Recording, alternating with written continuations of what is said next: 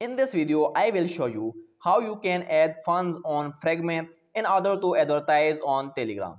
So first of all, you have to create ads. I already have created video you can watch. Now, at this position, just click on add fund on Fragment. Now, click on connect Ton and click on Ton Keeper. When you click on Ton Keeper, now install Ton Keeper from Google Play. Simply click on Google Play and install this from your Play Store just click on create new wallet. When you click on create new wallet follow instruction and your wallet will be created.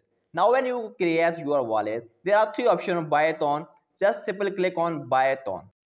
Then click on transact and here purchase or buy it on. But your minimum amount must be must be greater than 20 ton. Just enter your amount and buy your ton.